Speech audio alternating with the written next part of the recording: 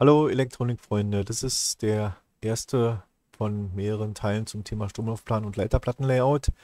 Ich fange hier natürlich mit dem Stromlaufplan an. Es geht darum, dass ich mal demonstrieren will, wie man so einen Stromlaufplan vernünftig zeichnet natürlich zum einen und nachher auch dann natürlich ein gutes Leiterplattenlayout dadurch, da, also daraus kreiert.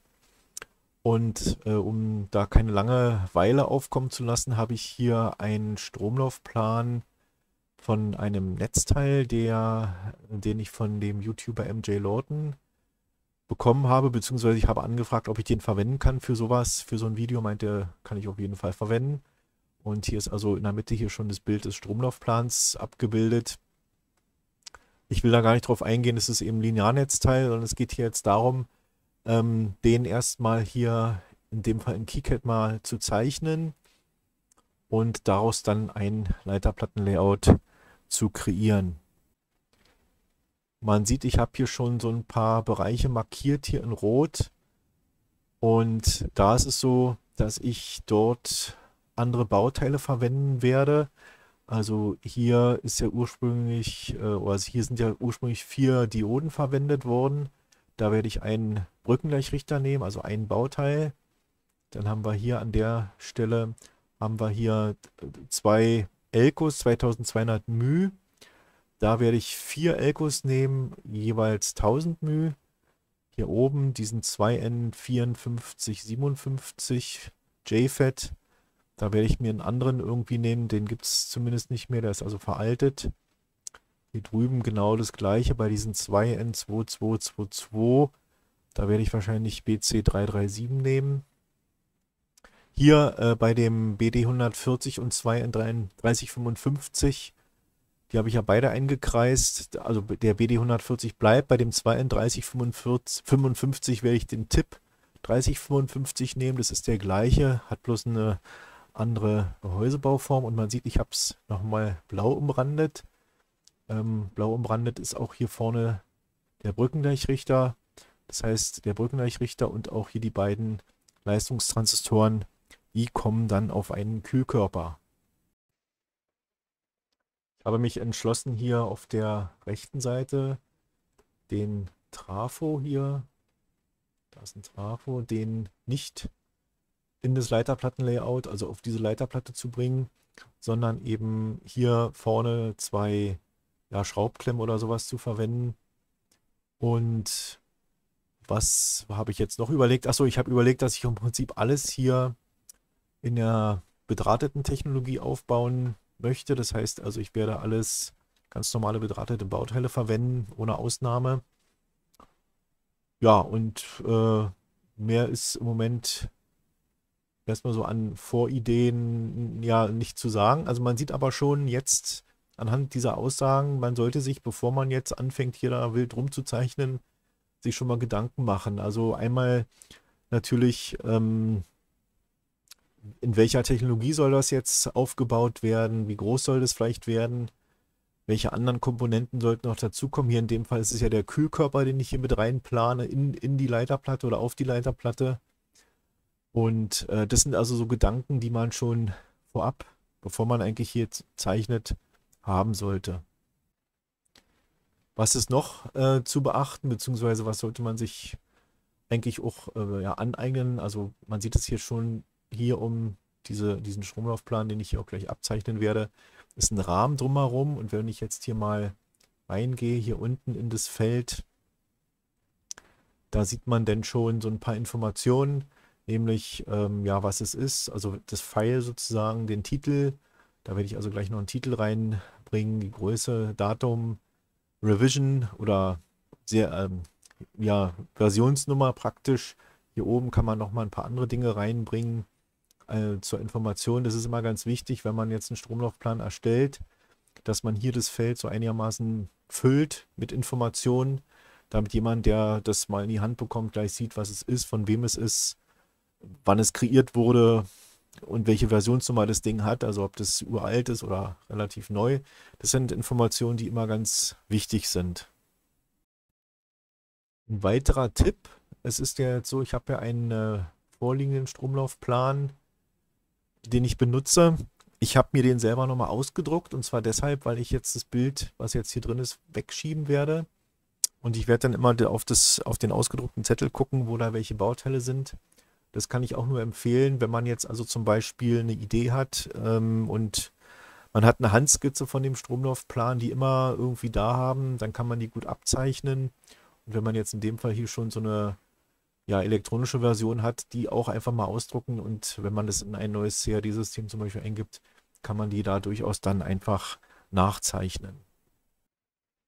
Ich habe jetzt zunächst erstmal hier so ein paar Informationen reingebracht, was ich gerade gesagt habe. Ich habe das äh, einfach so mal reingeschrieben in den Titel Linearnetzteil YouTuber MJ Lawton und ich habe es bearbeitet 2021 und es ist die Revision Number 1 und jetzt werde ich zunächst einmal ähm, das Bild hier wegnehmen, weil es ein bisschen stört beim Zeichnen. Wie gesagt, ich habe es ausgedruckt und werde dann von da aus Schritt für Schritt die Bauteile hier platzieren. Für den äh, Brückenleichtrichter habe ich mich jetzt entschlossen, hier diesen GBU 8b zu nehmen. Warum? Weil ich den auch hier habe. Den werde ich also hier erstmal platzieren. Und als nächstes den äh, Tipp 3055. Und zwar im TO2 47 Gehäuse. So, das sind schon mal zwei Bauteile, die ich jetzt hier auch speziell natürlich äh, anders wähle. Als nächstes füge ich einfach die ähm, weiteren Bauteile hinzu. Unter anderem jetzt hier die Widerstände. Und da mache ich das einfach so. Ich habe jetzt hier auf dem Plan, weiß gar nicht mal, 3, 4, 5, 7, 9, 10, 13 Widerstände. Ich äh, platziere erstmal einen hier und kopiere dann und im Anschluss daran, also wenn ich das auch bei den Kondensatoren und bei den Operationsverstärkern getan habe, dann werde ich die dann entsprechend an die entsprechende Position setzen und danach ähm, praktisch verdrahten. Man sieht, ich habe hier schon mal alle möglichen Bauteile einfach so hier platziert. Das ist natürlich noch nicht so, wie es sein soll. Ähm, worauf ich jetzt aber hinweisen möchte, in der Schaltung sind ja zwei Operationsverstärker, nämlich die LM358 und da ist ganz wichtig, hier in KiCad zumindest ist es Unit A und Unit B sind die beiden Operationsverstärker in dem LM358 und was man vielleicht oft vergisst, der Operationsverstärker oder generell jedes IC braucht ja auch eine Spannungsversorgung. In dem Fall ist es hier Unit C. Das darf man in keinem Fall vergessen, weil sonst natürlich der Operationsverstärker keine Spannungsversorgung hat. Er wird später, wenn man das vergisst, natürlich eine Fehlermeldung bringen beim Electrical Rule Check. Ähm, aber ich will nochmal extra darauf hinweisen. Und ich nehme jetzt also hier den ersten und dann den äh, nächsten, muss ich mal gucken hier, 358 Unit B. Und nochmal den auswählen, in dem Fall die Unit C, die Spannungsversorgung. Jetzt fange ich ein bisschen an zu sortieren. Das kann natürlich ein bisschen langwierig werden. Also für diejenigen, die das kennen, die können das natürlich jetzt auch gerne hier überspringen. Ich werde mal hier so ein bisschen gucken, wie es im Stromlaufplan hier die Sachen sind. Hier sind diese vier Elkos, die ich verwenden möchte. Dann haben wir als nächstes hier eine LED, Vorwiderstand. Und so kann man Schritt für Schritt mal gehen und die, das war jetzt falsch, nochmal die Sachen hier in die entsprechende Position bringen. Ach so, was ich noch sagen wollte, ist hier ähm, in der Originalschaltung ist ein 2N5457. Hier hat er gesagt, es ist ein veraltetes Bauteil, ein alter JFET. Jetzt habe ich hier erstmal einen BF245 platziert. Den kann ich, so wie ich jetzt das Datenblatt sehe, allerdings nicht verwenden. Da ist die Kennlinie doch etwas anders. Ähm, ich habe mal erstmal hier genommen, weil ich später nachher ähm, ja, die, die Bezeichnung ändern werde. Es spielt ja hier im Moment keine Rolle, elektrisch gesehen, was, was, der, was das für ein Typ ist, sondern eigentlich nur die Gehäusebauform. Und da möchte ich nochmal speziell darauf hinweisen, also wenn Ersatztypen gesucht werden, da muss man sich mit den Datenblättern der entsprechenden Bauteile ja mal ein bisschen beschäftigen und gucken, was da so steht und ähm, dann notfalls ähm, ja etwas länger suchen, um ein entsprechendes Ersatzbauteil dort einsetzen zu können. Nichtsdestotrotz werde ich jetzt hier einfach weiter die Sachen so bewegen, wie sie hier in dem Original in etwa sind. Wie gesagt, es ist etwas langwierig, aber ich denke mal, das ist durchaus auch normal. Also man sieht, es dauert eben ein bisschen, um die Sachen erstmal so einigermaßen in die Position zu bringen, wie sie in dem Original Stromlaufplan ja vorhanden sind. So, ich habe jetzt hier die Bauteile so in etwa platziert, wie sie auch im Original Stromlauf zu finden sind. Und jetzt kann ich im Prinzip hier ähm, verdrahten. Und das natürlich auch, dauert auch eine Weile im Prinzip. Aber das haut so, denke ich mal, ganz gut hin. Jetzt muss ich bloß gucken, wo ich hier überall ran muss. Das ist etwas komplizierter in der Schaltung vielleicht. Und man sieht auch,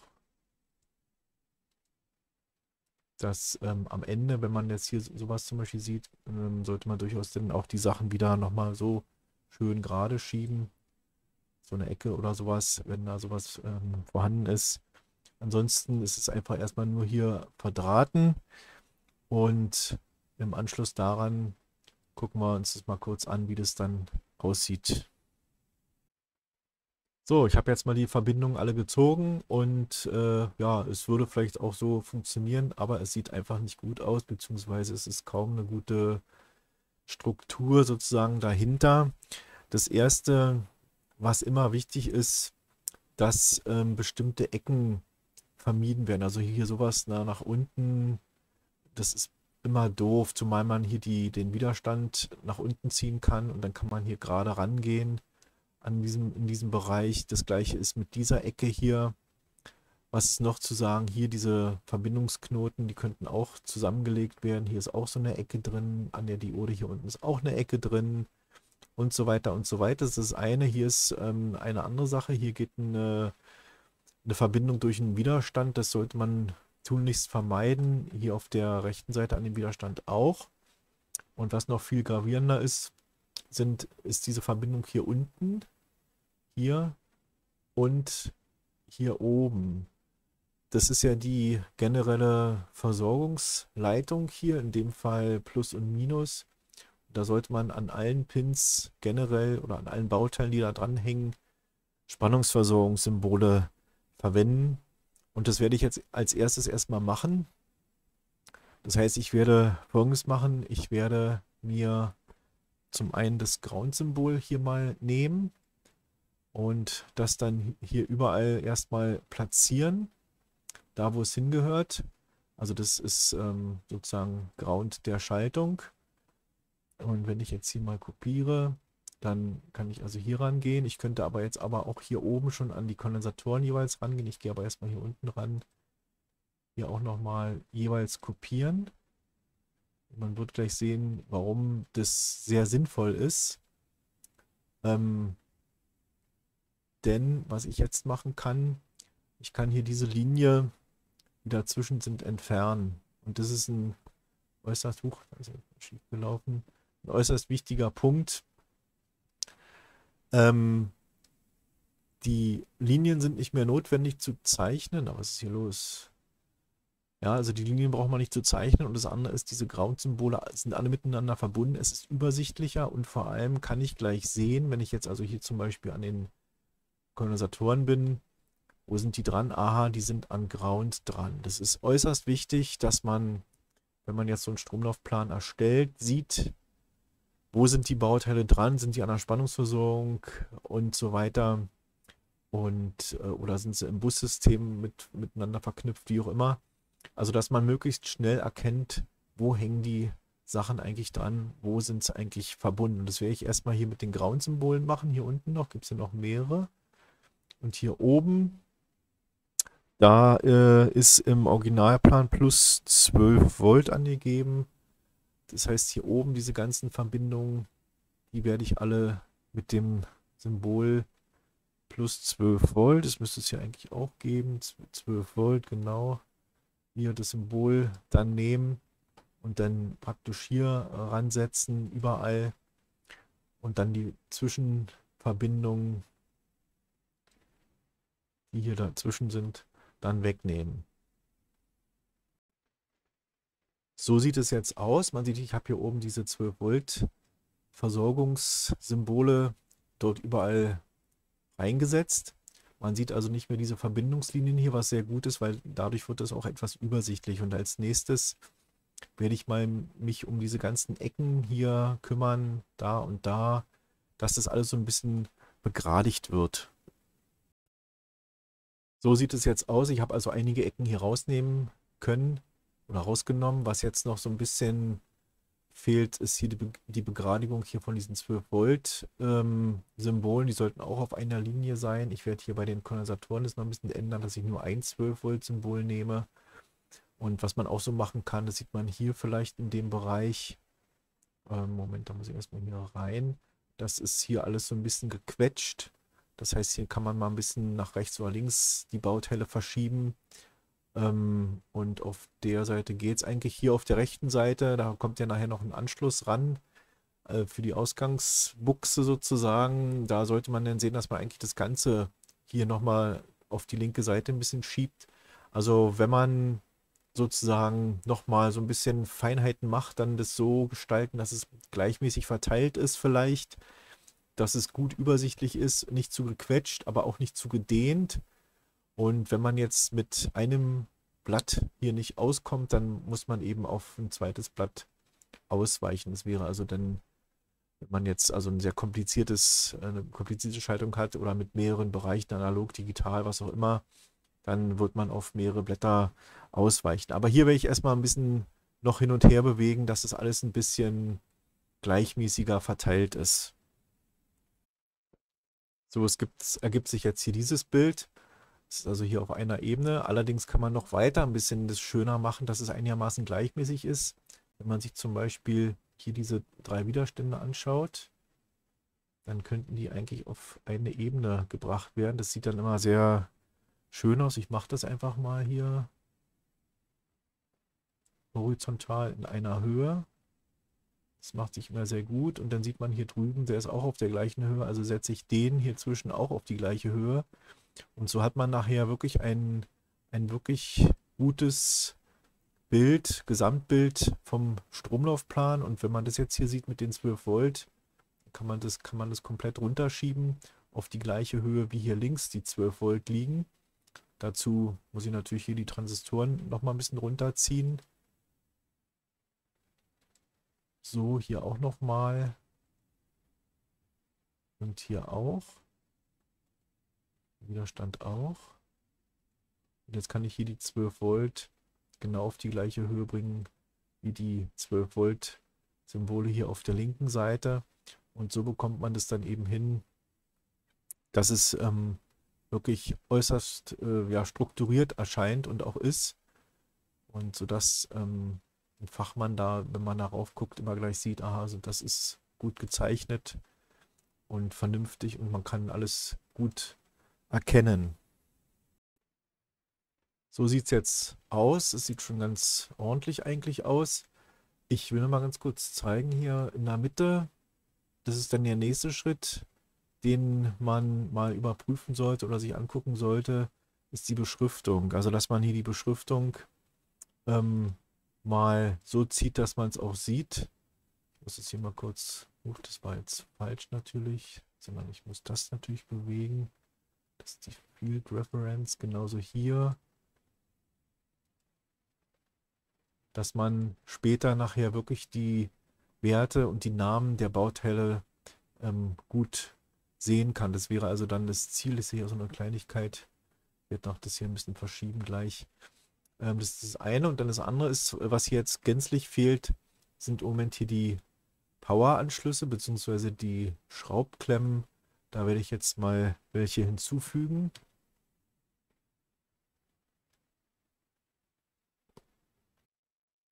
Und zwar nehme ich in dem Fall diese Screw Terminals einmal zwei auf beiden Seiten.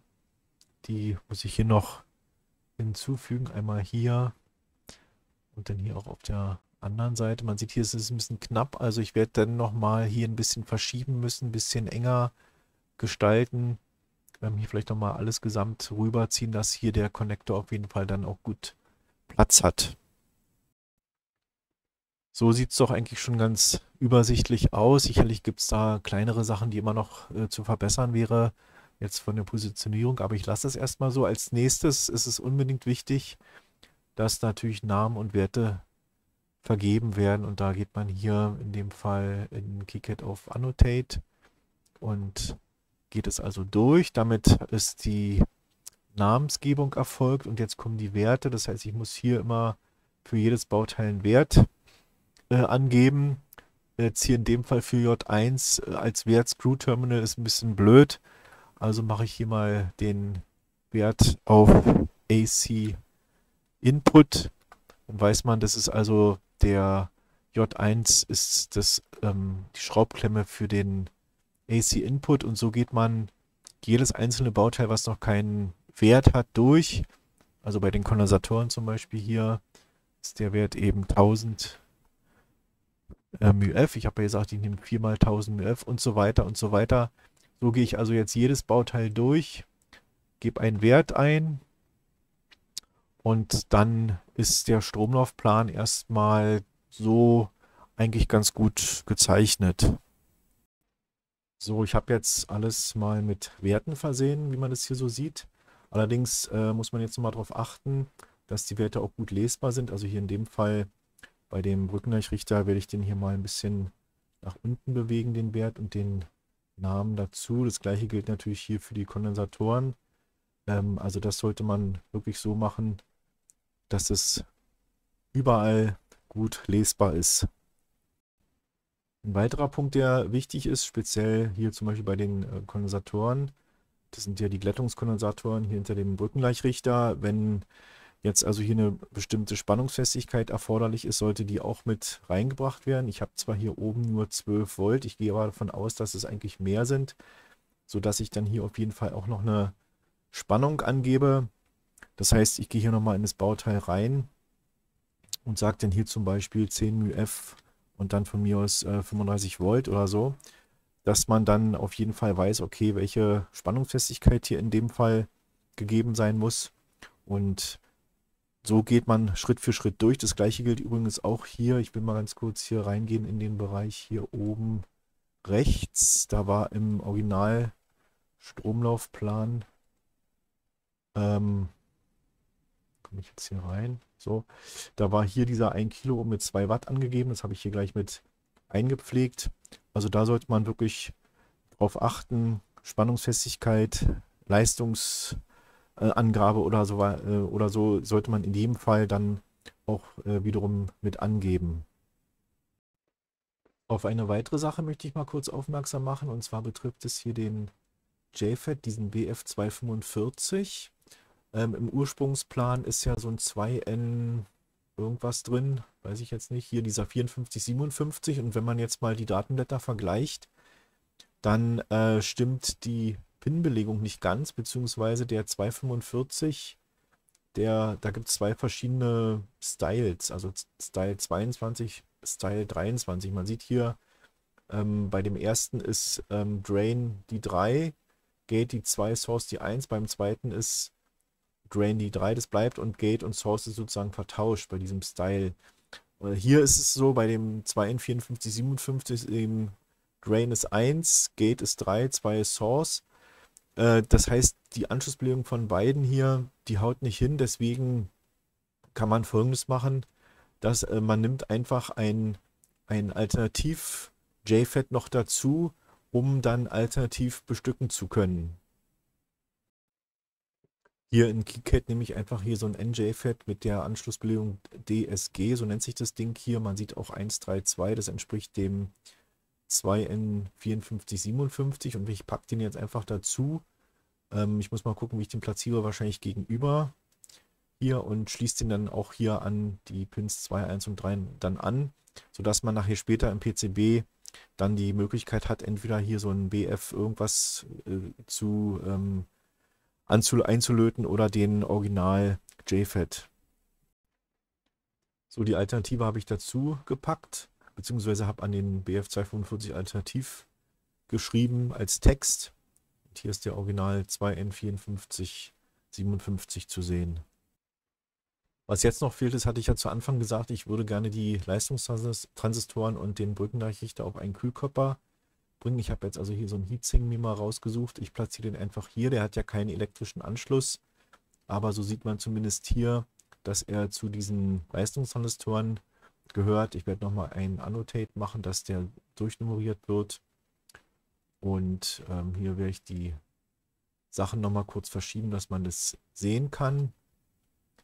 Also hier nochmal bewegen, den Namen, dass man hier einfach den als Kühlkörper sehen kann und damit sieht es schon mal ganz gut aus. Wenn man jetzt also denkt, dass der Stromlaufplan soweit ganz gut aussieht, dann kann man durchaus schon mal einen Electrical Rule Check machen, ein ERC. Der checkt also hier mit dem Symbol hier oben ob da irgendwelche Fehler drin sind und zwar bezogen auf die Zeichnung, also ob hier irgendwelche Overlappings sind oder so. Und er bringt hier zumindest ein KeyCat an, dass dort ein irgendwas mit den Power-Symbolen nicht stimmt. Also dass die irgendwie nicht äh, angetrieben werden oder ja, keine, keine Verbindung irgendwie haben. Und hier in dem Fall muss man Power Flakes noch setzen. Das Bauteil, was, was hier heißt äh, Power Flake, das wird also verwendet, um dort hier ähm, an die Symbole nochmal ranzugehen. Das muss man beim Ground und auch beim plus 12 Volt machen. Das ist hier spezifisch bei KeyCat. Und dann sollte es eigentlich auch keine Fehlermeldung mehr im ERC geben. Ich verbinde das mir ganz kurz noch. Wenn ich jetzt hier ein ERC laufen lasse, nochmal auf Run, dann sieht man, Uh, hier stimmt irgendwas nicht. Flag ist ankündigen. Achso, das ist der untere Flag. Ist nicht dran, offenbar. Ja, okay. Also nochmal hier ran. Nochmal ERC. Sollte eigentlich keinen Fehler mehr geben. Ja, jetzt gibt es auch keinen Fehler mehr. Damit ist jetzt erstmal, was die Zeichen betrifft, alles verbunden. Es gibt keine Fehler. Und jetzt geht es zum nächsten Schritt. Hier in dem Fall muss man natürlich zuordnen die Gehäusebauform. In manchen Programmen, wie zum Beispiel Eagle, ist es anders. Dort ruft man ein Bauteil auf, was schon ein bestimmtes Package, also Gehäuse hat. Hier ist es so, man muss im Prinzip die Zuordnung jetzt machen, indem man hier auf dieses Symbol klickt. Den Footprint muss man also hinzufügen. Dann lädt er die Footprints ganze Library dauert einen Moment und dann äh, kann man die Zuordnung zu den Bauteilen machen und gucken, auf welchen Footprint das basiert. Wenn man jetzt die Zuordnung macht, dann sieht man hier bei den 1000 μF, da ist noch nichts verbunden. Ähm, ich habe ja gesagt, ich mache alles in THT-Technik, also bedrahtete Bauteile. Und jetzt ist ganz wichtig, diese 1000 μF 35 Volt haben eine bestimmte Größe. Ich will die auch stehend haben, nicht liegend. Und dazu kann man jetzt natürlich hier irgendeinen auswählen. Allerdings Vorsicht ist da geboten, denn man, ich kann jetzt nicht einfach den hier auswählen. Ähm, und zwar aus dem einfachen Grunde, weil er viel zu klein ist. Also da muss man mal gucken. Ich gehe mal hier in den Footprint, wie er aussieht und in das 3D, in die 3D-Ansicht. Ah, okay, da gibt es jetzt keine. Aber ähm, die, der Footprint hier mit 2,5 mm und einem Durchmesser von 5 ist hier zu klein. Also hier heißt es auch, immer wieder jetzt gucken in den Datenblättern. Man muss also schon mal gucken bei verschiedenen Distributoren, wie groß sind diese 1000 μF 35 Volt zum Beispiel oder die 100 μF und dann entsprechend hier einen wählen, der dazu passt. Hier in dem Fall ist es so, dass ich äh, mal geguckt habe, die haben meistens so einen Durchmesser von 12,5 mm und ein Raster von 5. Ich kann also hier dann das setzen für alle vier Kondensatoren, also für alle vier Elkos hier in dem Fall. Kann man mal gucken, wie der Footprint aussieht. So sieht er aus. Ich weiß nicht, ob die hier ein 3D-Symbol dahinter haben. Nee, haben sie nicht. Ähm, also so muss man da auf jeden Fall vorgehen. Wenn man sich vertan hat, dann kann man das natürlich wieder ändern. Das ist keine Frage. Ähm, ich kann aber wirklich nur empfehlen, Gut, bei Standardbauteilen wie irgendwelchen Transistoren oder sowas hat man meistens eine Bauform, aber gerade bei den Elkos, bei den Widerständen, teilweise auch bei speziellen, speziellen ICs, Dioden und so weiter, Leuchtdioden, einfach mal gucken, welche Bauform man braucht und dann hier in der Liste auswählen, beziehungsweise bei anderen Programmen sich das entsprechende Bauteil dann aussuchen. Bei Eagle ist es ja so, dass man auch das Package dann noch später ändern kann, das ist also auch kein Problem. Und hier kann ich eben diese Zuordnung dann auch später noch ändern. So wie man sieht, habe ich jetzt alle Packages hier zugeordnet. Und ich will mal ganz kurz nochmal auf das Problem der Bauteile, Größen, Gehäusebauform bei Kondensatoren, bei Elkos speziell mal eingehen. Und zwar habe ich ja hier ausgewählt den äh, für den 1000 μ diesen 12,5 mm im Durchmesser und Rastermaß 5. Da muss man auf jeden Fall, wie gesagt, im Datenblatt reingucken. Und wenn ich jetzt hier mal einen Auszug aus dem Datenblatt von Panasonic in dem Fall mal aufrufe, dann ähm, haben wir also hier unten links ähm, die in der Tabelle diese 35 Volt, 1000 μF, da steht dann hier 12,5, das ist also der Durchmesser des Bauteils. Es gibt hier noch andere elektrische Werte, die jetzt erstmal nicht von Belang sind. Also 12,5 ist der Durchmesser, dann geht man hier oben in, auf einer anderen Seite im Datenblatt in die Tabelle, wo der Body-Durchmesser angegeben ist, 12,5. Dann hat man hier unten den Wert für diesen Pin-Abstand, für den Beinchenabstand, nämlich 5. Das ist also ganz wichtig. Man muss also da immer wieder mal reingucken, um wirklich zu überprüfen, dass die Bauteile Größe stimmt. Denn sonst kann ich dann später das Bauteil nur schlecht bestücken oder im schlimmsten Fall auch gar nicht bestücken, weil das einfach alles nicht passt. So, das ist also jetzt hier nochmal kurz der Ausflug. Die anderen Bauteile, da habe ich ähm, nochmal geguckt, ich habe den Heatsink, weil ich den vorher auch schon gesehen habe, hier in, in der Library. Den kann ich ja mal kurz zeigen, das ist so ein großes Ding hier. Ähm, den habe ich jetzt einfach mal genommen. Also so, so sieht der aus hier im 3D und so weiter und so weiter. Ich habe äh, bei den Widerständen 0207 Bauform, das ist eine Standardbauform bei den Widerständen und alles andere, ja, eben geguckt, was man da verwenden kann. Und jetzt kann ich das erstmal hier schließen, beziehungsweise sagen, okay. Und jetzt geht's weiter, denn im Moment ist es ja so, der Stand, ähm, die, wir, die, der Stromlaufplan ist gut gezeichnet einigermaßen. Die Package, also die Bauteile Namen und Werte sind gegeben. Es gibt hier einen, äh, einen Text sozusagen, was es eigentlich ist, hier unten und wer das bearbeitet hat. Ist also eigentlich erstmal alles vorhanden und als nächstes muss man hier in der Software zumindest eine Netzliste erstellen. Auch hier der Hinweis, in anderen Programmen ist es etwas anders äh, gelöst. Meistens sind es jedoch Netzlisten, die erstellt werden müssen. Und äh, in Eagle kann man zwar direkt auf das PCB gehen, da braucht man keine Netzliste zu erstellen, aber hier muss man eine erstellen. In dem Fall also gehe ich hier auf Net und generiere eine Netzliste. Die wird dann hier abgespeichert unter diesem Namen. Und damit ist erstmal die Grundlage geschaffen, dass äh, das PCB-Layout nachher auch gut funktionieren kann.